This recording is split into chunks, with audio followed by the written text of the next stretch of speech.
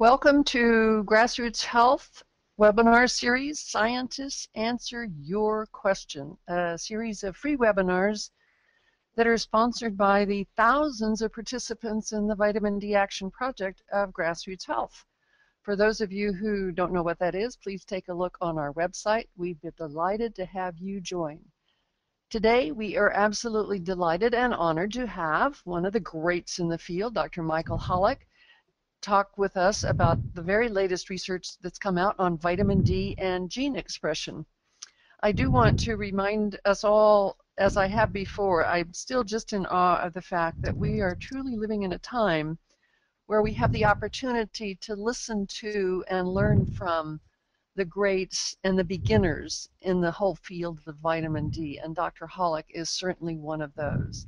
He has been researching and working with vitamin D since the early 70s. And I have to smile somewhat because he's one of the few people that are not quite as old, but almost as old as I am. uh, Dr. Holick, very, very much welcome, and we're very excited to hear about the vitamin D and gene expression, and it's all yours. Thank you very much, Carol, for that kind introduction.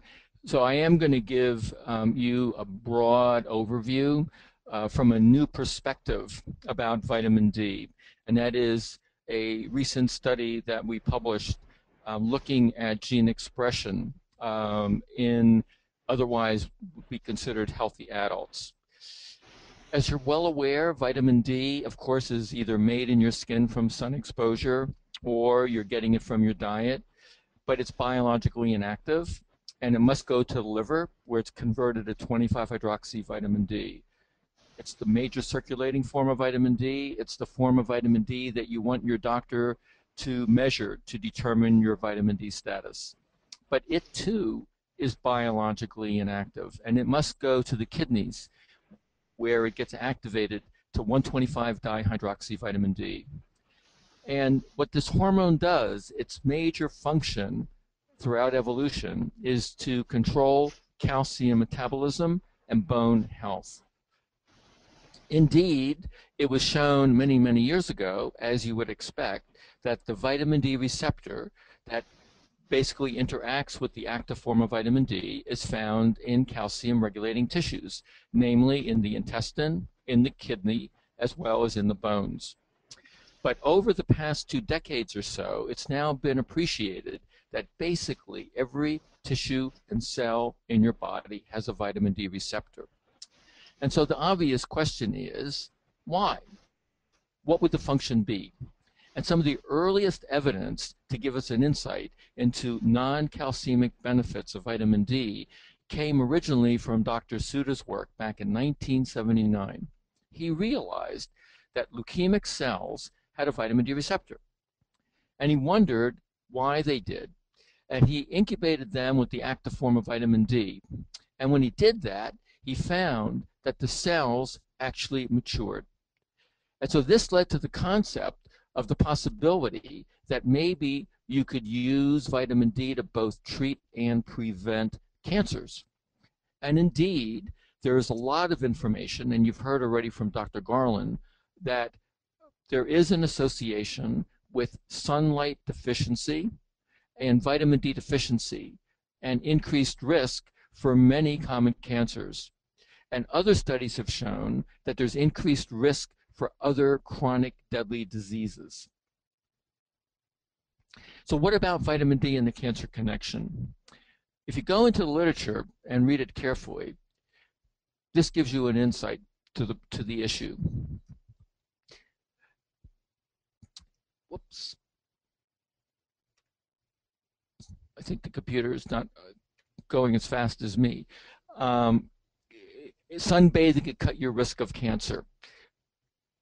Indeed, in 1941, it was appreciated that if you lived in the northeastern United States, that you were more likely to die of cancer than if you lived down south. And the author, Dr. Apperly, reasoned that possibly you developed an immunity to cancer. And because often people that lived in the south had non-melanoma skin cancer, easy to detect and easy to treat. Yes, they had skin cancer, but so what? Because they had an immunity to all other cancers. But we began to appreciate in the late 80s and early 90s by the Garland brothers that if you improve your vitamin D status, that you reduce risk of many cancers, including ovarian and in this case colorectal cancer. And it was concluded that just increasing your vitamin D intake to a thousand units a day could potentially reduce that risk by as much as 50%. Also, a study done out of the Nurses Health Study here at Harvard, when they looked at blood levels of 25-hydroxy vitamin D in these otherwise healthy nurses, if they had a blood level on average of 48 nanograms per ml, they had a 50% reduced risk of developing breast cancer. The very nice study by um, Lappe and uh, Heaney several years ago in almost 1,200 postmenopausal women who received calcium supplementation as well as 1,100 units of vitamin D or placebo and looked at the development of all cancers over a period of four years, remarkably reported that there was about a 60% reduced risk of those women developing all cancers. And because they were concerned that, well, possibly they may have had a cancer incubating in the first year, and so they took that group of women out of the analysis, they showed that in fact there was almost almost an 80% reduced risk of developing all cancers if you took that first year out of the mix. So what is the possible connection? Well, the possible connection has been the thinking that because active vitamin D inhibits cancer cell growth, it seemed to make sense. And that is, if you're exposed to a lot of sunlight or you ingest a lot of vitamin D, you would get your kidneys to activate more vitamin D, make this anti-cancer hormone that would then bathe all the tissues in your body to prevent you from developing a malignancy. The problem with that concept is that activated vitamin D, for sure, will inhibit cancer cell growth. But no matter how much vitamin D you ingest, and no matter how much sun exposure you have, your kidneys will not make more active vitamin D. And the reason is simple because the kidney makes active vitamin D for one purpose and one purpose only to maintain calcium metabolism and bone health. If you made too much active vitamin D in your kidneys, your calcium would go outside the normal range, it would become elevated, and ultimately would lead to calcification of your kidneys, blood vessels, and could ultimately lead to death. So there had to be another explanation, and that was a real conundrum. So why is it that there's this association with living in higher latitudes, increased risk for vitamin D deficiency, and association with increased risk for colorectal cancer and ovarian cancer? That was a real conundrum. Until it was realized by many laboratories in the 1990s, including our own working with Dr. Schwartz, that many cells in the body not only have a vitamin D receptor, they have the machinery to activate vitamin D. Now you may say, well, if every cell in your body is activating vitamin D, if this was getting into your bloodstream, this would cause a major problem. Well, it turns out Mother Nature cleverly figured out what to do. So first, once the active form of vitamin D is made, it's controlling a whole host of genes, including controlling cell growth, reducing risk of cancer. And then it induces enzymes, machinery to destroy itself. So it never gets out of the cell into the circulation. So clever of Mother Nature. So the kidneys activate vitamin D to regulate calcium and bone metabolism, but the local production of 125 dihydroxy vitamin D is to regulate a whole host of genes. And so the concept has been that for example, the colon cell, that if you raised your blood levels of 25 hydroxy vitamin D of greater than 30, but preferably 40 nanograms per ml and higher, that now you're providing enough substrate for the mitochondrial 1-hydroxylase to convert it to 125 dihydroxy vitamin D. Interacts with its receptor, and goes to the nucleus and then unlocks a whole host of genes to regulate cell cycle, to regulate differentiation and maturation, and if the cell can't control its own growth, it will induce its own death by apoptosis. It's estimated by some at least 200 and maybe as many 2,000 genes in the body are directly or indirectly regulated by the active form of vitamin D. What about the immune system? It's always been known that the immune system activates vitamin D. Macrophages, those cells that gobble up infectious diseases like tuberculosis, once they do that, they activate vitamin D. And the question is, why? As early as 1849, it was appreciated that cod liver oil and vitamin D protected against TB. This was in the early uh, 1920s and 30s. Finally, in 2006, Dr. Adams, Modlin, and Dr. Liu made an interesting observation and reported it in Science. And what they realized was that when you infect a macrophage with, say, a tuberculosis bacterium, one of the first things that gets turned on with the toll-like receptors is the gene that activates vitamin D. Now you may wonder why. Well, they went on to show that the reason is it tells the cell to increase the expression and production of cathelicidin. Turns out cathelicidin is what we call a defensin protein. It specifically interacts with the TB and kills it. So now we understand why the macrophage activates vitamin D.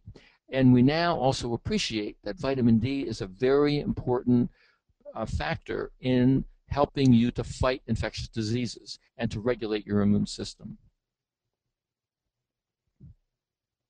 And that's probably why solariums were so popular back in the 1910s, 20s, and 30s. It was used effectively in helping to treat tuberculosis. And it was also curious that if you lived above 5,000 feet altitude, you basically never would get TB. And we think we now know why, because above 5,000 feet altitude, there's essentially little ozone, so you're constantly can make vitamin D throughout the year, even in the wintertime uh, in northern Europe, in the Alps. But we also know about the flu season. And Dr. Cannell had published a very interesting paper because he had realized that Edgar Hope Simpson had suggested that there was a seasonal influence on the flu and that the flu always seems to occur at the end of the winter. And Hope Simpson realized that if you lived at the equator, that you would get the flu throughout the year.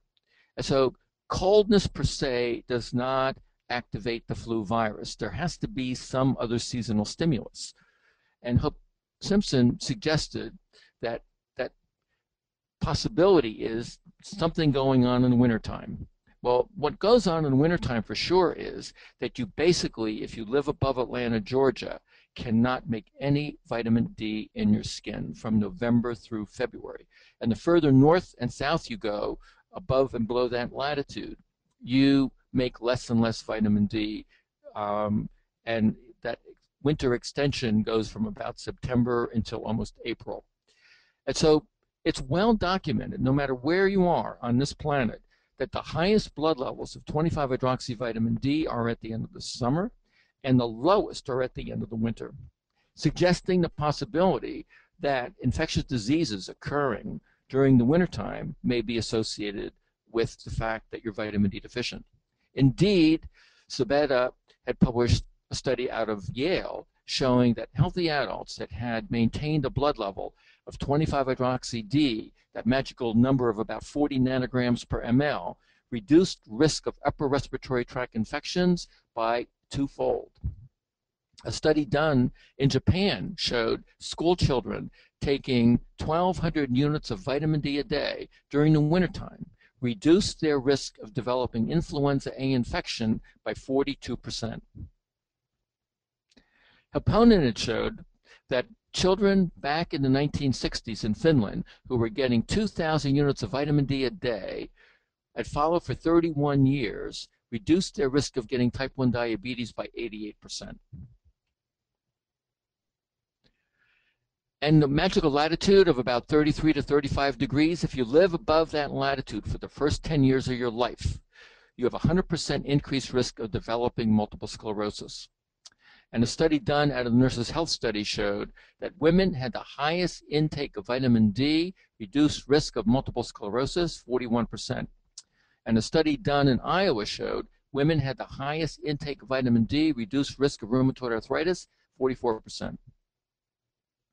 And a study done at the Framingham Heart study showed that if you're vitamin D deficient, you have a 50% higher risk of having a heart attack. So what about the mechanism? Well, we think that the mechanism has to do with, again, active form of vitamin D regulating a large number of genes, controlling both the formation of atherosclerotic plaque, inflammation, also controlling blood pressure by controlling renin production, and also playing a role in cardiomyocyte function. So the question is, what genes are being turned on and turned off? And has there ever been a study actually looking at healthy adults receiving vitamin D? And we know that if you're vitamin D deficient, you are at a higher risk for dying, and that many of these chronic illnesses that we talked about, from cardiovascular mortality, for example, just by maintaining a blood level above 30 nanograms per ml, you reduce that risk of mortality by as much as 25 to 33 percent. So what about the genes and vitamin D? And so we did a study a year ago, and we asked a simple question, and that is, does your vitamin D status influence expression of your genes? And what better way to do that is to give healthy adults vitamin D. And we gave one group of adults 400 units for 12 weeks, and another group 2,000 units of vitamin D. And we got their buffy coat, which is basically the white blood cells in the blood. Now you may ask, why did we get white blood cells? Because it's the easiest way to be able to access uh, cells in the body that we could actually look at gene expression. And we did a chip analysis of over 22,500 genes. So we took the RNA from these white blood cells, processed it, put it on the chip, and did an analysis and looked at over 22,500 genes. Now, you may not be aware exactly of what gene expression heat map is, so I'll just review that with you briefly. And that is, it's basically to stack up all of the genes that are being influenced by whatever it is that you're looking at. And in this case was vitamin D. And the blue and the white is indicating that this particular gene, each one of those lines is a gene, is being uh, is is not very active. That it's a very low expression. Whereas if you have the gene in kind of this orange and red coloration, all of those lines mean that those genes are being now highly expressed. So with that, we looked at a heat map for our subjects that received vitamin D. And we found that 82 genes at baseline, before we gave anyone any supplementation, right, had high expression. You can see all the kind of red and orange and a little bit of white and blue. And giving them vitamin D, we were able to show significant decrease in the expression of those 82 genes. Similarly, when we looked at the group of genes that had low expression, those that received vitamin D supplementation had a dramatic effect on increasing the expression of those genes. Also, what's curious when you look at this is that if you begin to look at the before supplementation and look at the group that's at 27 up on the top here, in the pink area, and look at those genes, they're a little bit red and orange and blue compared to the group that are at 16 nanograms per ml, where most of them are deep red. So you could even tell, based on these data, that your vitamin D status at baseline seemed to be influencing these genes. And the same was true after they received vitamin D supplementation. So ultimately, we identified 291 genes being influenced just by giving vitamin D. And so here's just a, a, better look at it. You can see again on the left side that the group that was at 27, and these genes are not as expressed as the group that was vitamin D deficient, where most of these individuals, each one of these bar uh, lines here is an individual uh, uh, subject. You could see that there's a big difference whether you're at 27 versus 16.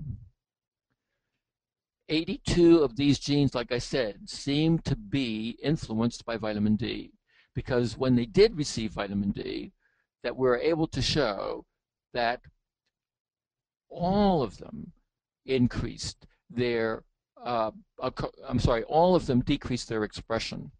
And what's curious is that we showed that giving vitamin D supplementation, this group increased from 27 to 35, and the group at 16 increased to 25.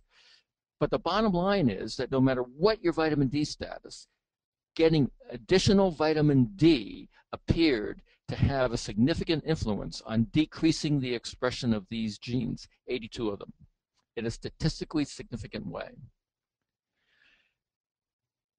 Of the 209 genes that had decreased expression, and again, you could see very nicely that this group here that's vitamin D deficient, that they're markedly suppressed compared to the group that's at 27. You could see that at least the genes are kind of a little bit turned on. But when we gave vitamin D, all of them showed a significant improvement in expression of these genes. So 209 genes that were not very active, just giving these subjects for three months vitamin D supplementation had a dramatic effect. And so the question is, of course, what are these genes? And Dr. Arash Hossein in our lab did a very careful analysis of the gene bank. And not to bore you with the details, but each of these represent a gene. And some of these genes are responsible for transcriptional regulation. So they regulate directly gene activity. And that means that they could be regulating gene activity for cell proliferation, for differentiation, for an immune response, for cytokine production, etc. What we also found was that it regulates some genes that may be related to how you deal with stress. And DNA repair due to stress. Say, if you're exposed to sunlight and you have what is called free radical formation that can damage your skin and increase risk of cancer, we found, at least in these white blood cells, that these genes are being influenced in a positive way by improving DNA repair. We also showed that we had alteration in some genes that regulated immune response and induced apoptosis. Again, consistent with the concept that if vitamin D, through its active form, can control cell growth, then it induces its own destruction. And also, we found a variety of genes that are regulating metabolic processes. So the bottom line is that we have identified a large number of genes that heretofore had not been appreciated to be controlled simply by your vitamin D status. And also, some of these genes have some effect on epigenetic modification as well. So we estimate up to 80 pathways being influenced by vitamin D supplementation. The amount of subjects that we had was relatively small because we only had a limited amount of resources. It was more than $2,000 just to do in one subject before and after the gene array analysis. What we did find was an indication that those that took 2,000 units of vitamin D a day had a more substantial response than those that took 400 units a day. But what the data also show is that no matter how much vitamin D you take, that you will begin to improve gene expression. And so taking any is better than nothing, and taking at least 2,000 units of vitamin D a day probably can have the maximum desired effect on regulating these genes. And so when feeding your genes right, think about vitamin D. So that's why I've been urging everyone to be thinking about their vitamin D status, not just in children, not just in adults, but for everyone from birth until death. Vitamin D deficiency is a disease of neglect. And the simple reason is because we've lost our appreciation that the major source of vitamin D is from sun exposure. And like I said, and many of the other speakers have also echoed the same theme, vitamin D deficiency increases risk of many chronic illnesses.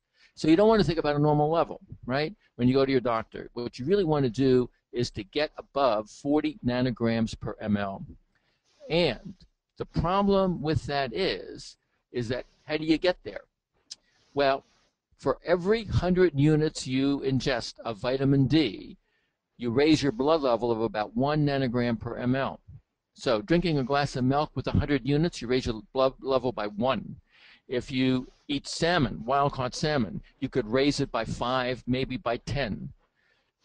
That's the problem. Because most people, if they're not exposed to adequate sunlight or taking an adequate amount of vitamin D, Caucasians typically run at around 18 to 22 nanograms per ml in Boston.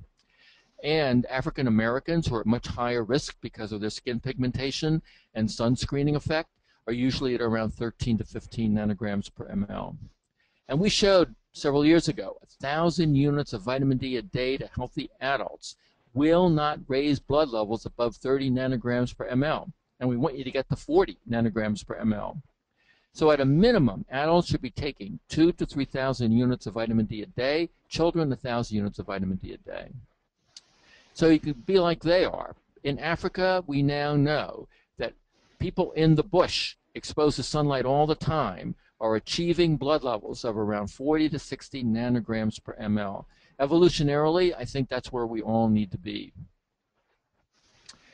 Look at this. Think about it. Disease burden of vitamin D deficiency, low birth weight, stunted growth, increased risk for type 2 diabetes, hypertension, risk of fracture, common cancers, autoimmune diseases, and infectious diseases, just to name a few.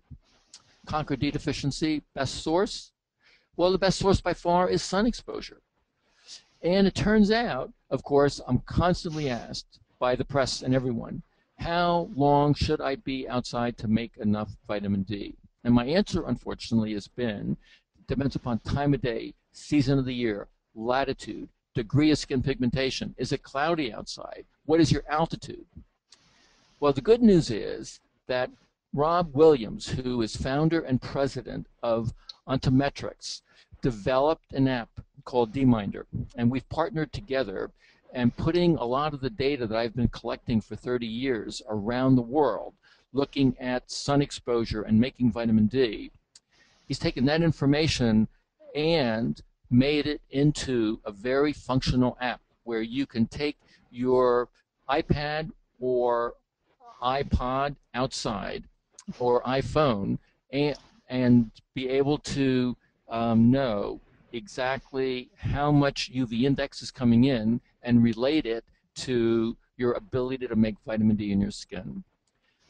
So you can go to dminder.info, and if you have an iPad or an iPhone, you can download it and try it out for yourself. But I think that this will help in a major way in providing people with a sensible way of being able to make some vitamin D, separate from taking a vitamin D supplement.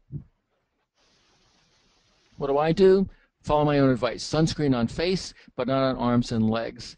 I like to cycle and play tennis and also garden. And I, like all my family members, take about 2,000 units of vitamin D a day, along with a multivitamin, so I'm getting about 3,000 units a day. My blood levels usually on average 50 to 60 nanograms per ml. I practice what I preach. So you don't need to be a genius to know, right, that we need sensible sun and vitamin D supplement recommendations. This is not a hypothesis. preferred range by the Endocrine Society, the recommendation is 40 to 60 nanograms per ml. Up to 100 is perfectly fine. So, endocrine practice guidelines recommends for neonates for the first year of life 400 to 1,000 units a day. For children, 600 to 1,000 units a day. And for adults, 1,500 to 2,000 units a day. And I think it's easier just to simply give children 1,000 units a day, adults 2 to 3,000 units a day. If you're obese, you need at least two to three times more. I recently wrote a new book called The Vitamin D Solution, and back there are also tables telling you anywhere on the globe, any time of the year, how much vitamin D you can make, and it fits in well with the app. And I thank you very much for your kind attention. And thank you very, very much, Dr. Holick. Uh, we are going to alert people right now to the fact that next week uh, we will have, excuse me, Dr. John Cannell talking about vitamin D and the prevention and treatment of autism.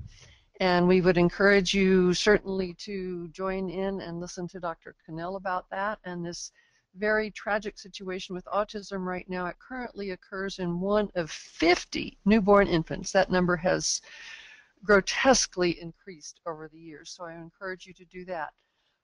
At this point in time, those of you that need to leave, um, please do so, but we will also continue with Dr. Holick in question answering, and all of the, the both the lecture and the questions will be posted on the web for you to view uh, later today. So again, thank you for coming, and for those that can stay, let's take a look at our questions. Dr. Holick, uh, number one, uh, I think you've already answered the question about what D levels are needed, but is there any true measure about maximal number of genes and expression as related to the blood level?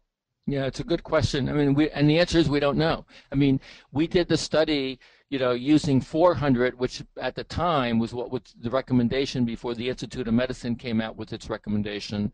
And then we thought 2,000 was reasonable because that was the safe upper limit back in 2010 when we did this study before the Institute of Medicine said that it was actually 4,000. So right. we don't know. And we plan to do a study to give increasing doses if we can get funding and to see whether or not if you if we gave them 4,000, would that make a difference? Would you even increase more gene activity, and we just don't know. But clearly, our data show that taking at least 2,000 units a day has a dramatic effect on gene expression. Great. Question two, are low levels of vitamin D hereditary? They can be, but it's extremely, extremely rare. There's a, rare genetic disorder that prevents the liver from converting vitamin D to 25-hydroxy vitamin D, but there's only a few reported cases in the world.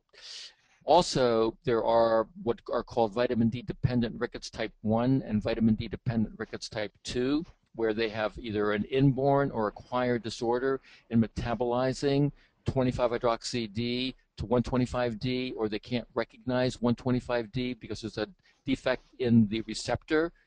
Otherwise, the answer is no. If you take adequate calcium and vitamin D, you will improve your vitamin D status for sure. Okay. Uh, question number three, if your vitamin D is low and the genes change, do they go back to the way they were after you get your vitamin D level up? We think so based on our data because it looks as if your vitamin D status was related to the degree of gene expression. So we would anticipate that yes, if you were vitamin D sufficient, that you would correct the expression of those genes. And if you became deficient, a lot of those genes would be either turned on or turned off in a negative way. And so I believe that the answer is yes. Okay. Which are the genes whose products were most related to vitamin D? It's a good question. Like I said, we found 291 genes. And so many of them, like I said, regulate uh, the immune system in various ways, regulate uh, DNA repair, regulate apoptosis, regulate uh, stress effects on um, the cell. So there's just a whole host of different genes that are related to vitamin D.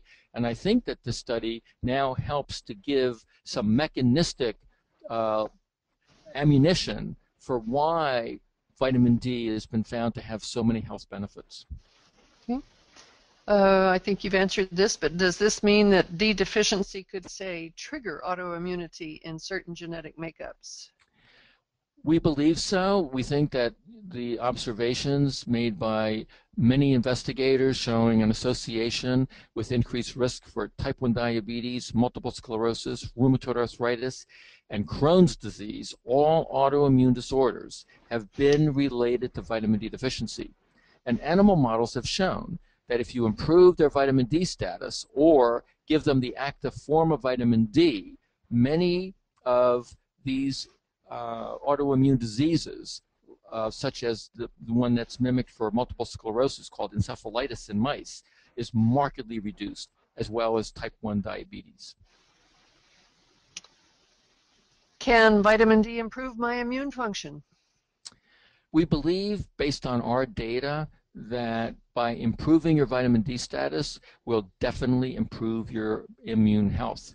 And it's definitely been shown that the macrophages that gobble up infectious agents like TB, if adequate 25-hydroxy vitamin D is around, it will take advantage of it, convert it to the active form of vitamin D, which then tells the cell to develop the machinery to destroy the uh, infectious disease. So yes, it's very important.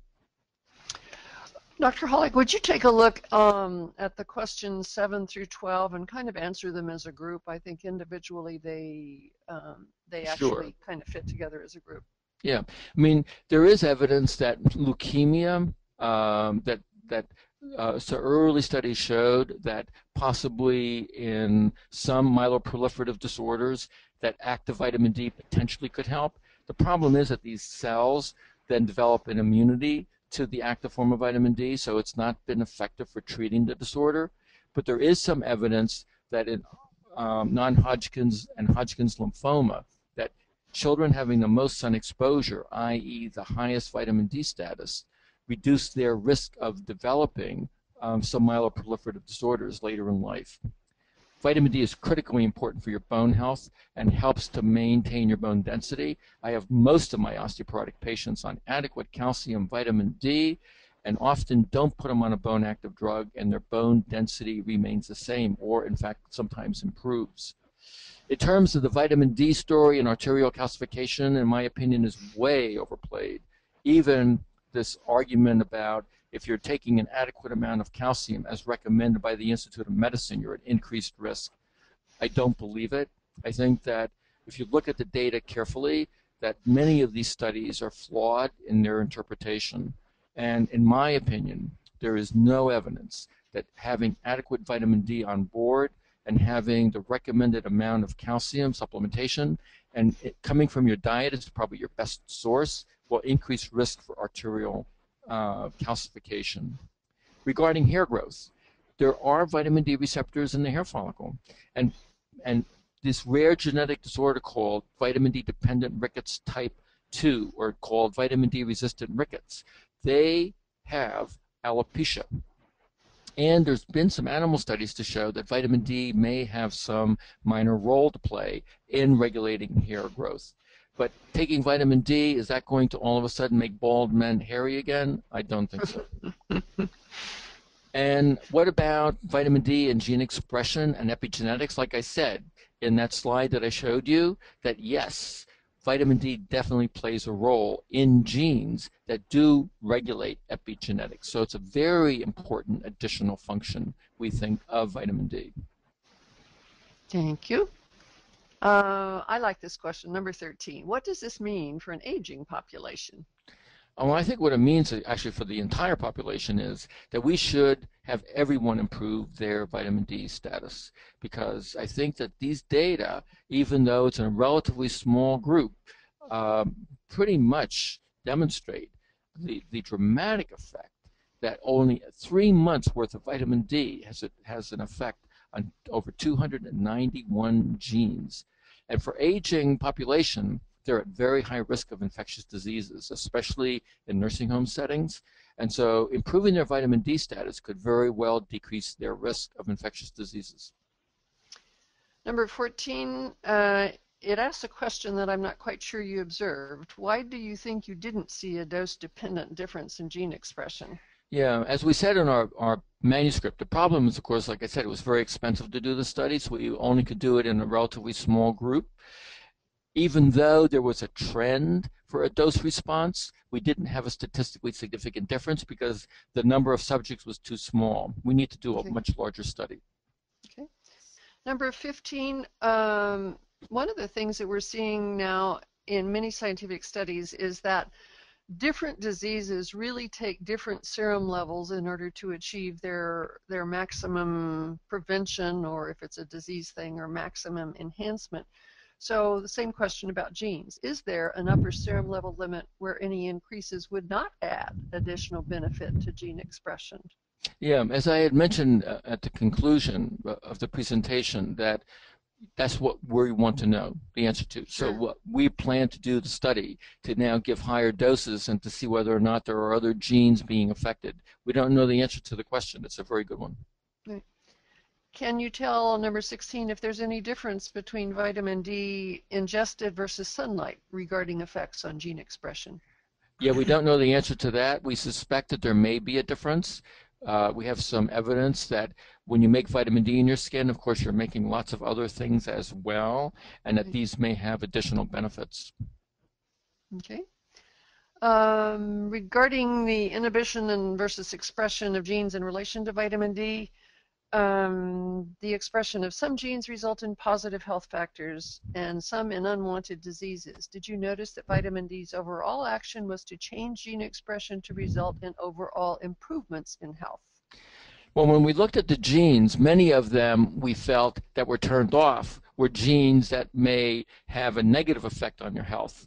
And the genes that we turned on had a positive benefit for your health. But obviously, this three month study, we're not going to be able to see any significant health outcomes in that short period of time. Uh, number 19, do you think maintaining healthy levels of vitamin D before and during pregnancy could reduce the chances of passing genetic diseases on to our children? It's a very good question. I mean, there's a lot of evidence now that just the environment that the fetus is developing in can have a dramatic influence, an epigenetic influence on them that could stay with them for the rest of their lives. And there is mounting evidence that vitamin D may play a very important role in regulating genes for the immune system or genes regulating the epigenetic activity that could very well impact on the health and welfare of the developing fetus throughout the life of that individual. Mhm. I have heard that illness, stress, and some environmental factors can turn genes on. Um, can vitamin D help prevent this? I think you've answered this, but Exactly. Yep. And so this is basically an epigenetics that is factors that influence gene expression, either by methylation, for example, of DNA or other ways of, of controlling histones and, and the like. And we think, based on our data, that vitamin D does influence some of the genes that regulate the epigenetics. Dr. Holick, would you please explain what epigenetics is? What epigenetics means is that you have a certain gene sequence, and those genes are responsible for um, the activities um, that occur in your body. But if you're now exposed to an environmental factor that now has an influence on the expression of that gene above and beyond what it would normally be, that's basically considered to be an epigenetic factor.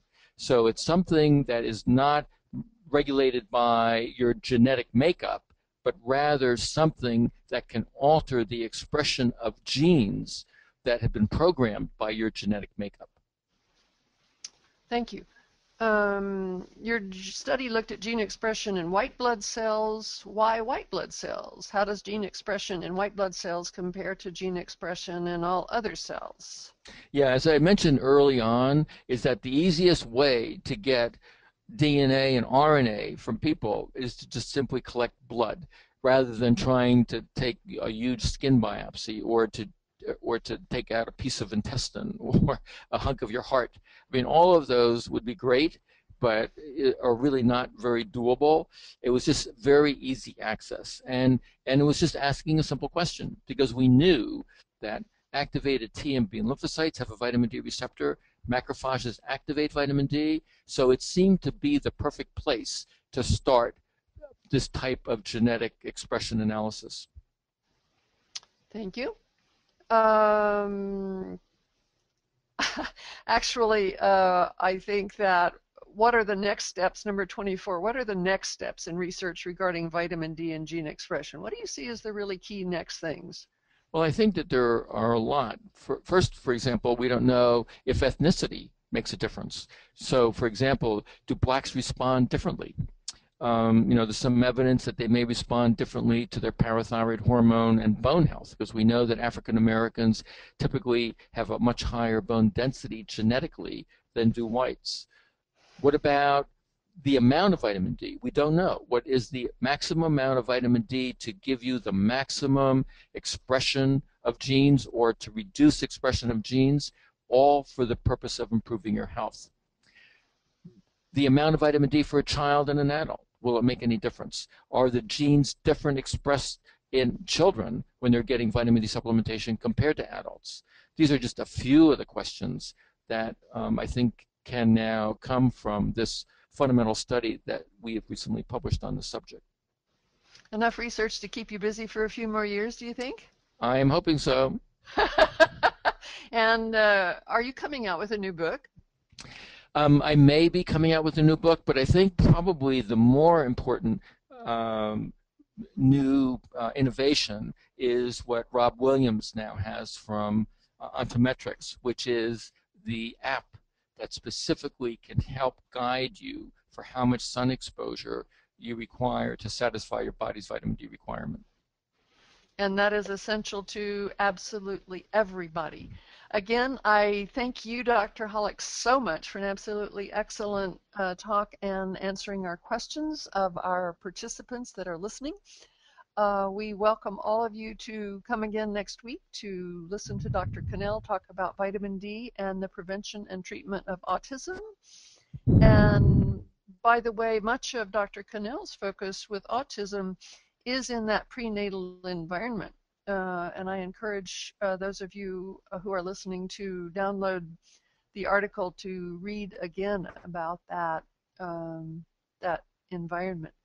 Thank you again, and Dr. Holick, again, thank you very, very much. We appreciate it. It was my pleasure. Time. Right. Have a delightful day. Thank you. Bye bye.